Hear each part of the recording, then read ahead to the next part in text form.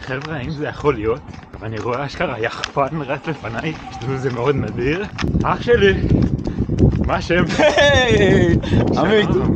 מעניינים, זה כיף לראות פה יחפן. מה קורה? מעולה. מה? ספר לי, איך הגעת לרוץ יחף? לא הייתי יכול לרוץ עם נעליים. היה לי כואב את האמת, ולא. הבנתי למה לא מצליח לרוץ. הייתי רץ קילומטר ו...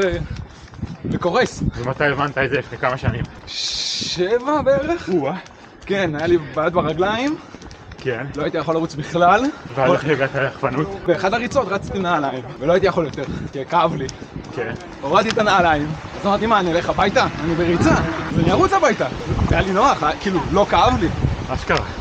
והתנועה היא שונה, נכון? איך הבנת בעצם כן, שרצים הפוך? כתבתי בגוגל קצת, ניסיתי להבין, והרבה ניסויים. תכלס גם אני, אנחנו נספר לך סרטון ביוטיוב של איזה ישראלי מלפני עשור, מראה על סוסים, איך אמורים לרוץ. הלכתי לשטח ותרגלתי כן. עד שהבנתי את התנועה.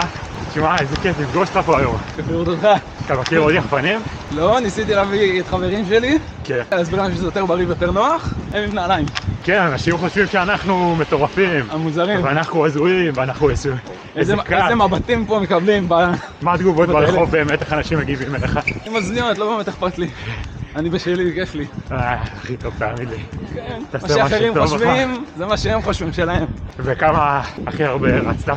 לא הרבה, אני לא מהמרחקים. שבע קילומטר וקצת, וכמה פעמים אתה רץ בשבוע? פעמיים. שיעלב. תשמור על זה. ולמה אתה אוהב לרוץ? שאלת. השאלות, כן.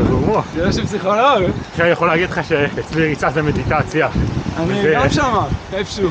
זו תנועה מונוטונית שקורית ואתה מתנתק. לגמרי. תשמע, אני מרגיש כאילו אני יוצא לאיזה מסע, כל ריצה, ואני בא ופורק את כל העצבים, את כל המתחים, זה עושה לי טוב. תראה איזה שקיעה יפה.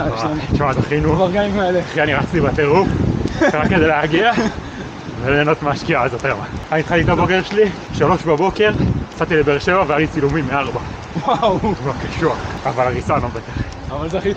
יאה, זכיתי לפגוש אותך, זה היה שווה את כל היציאה הזאת. שמחתי להכיר. יאללה,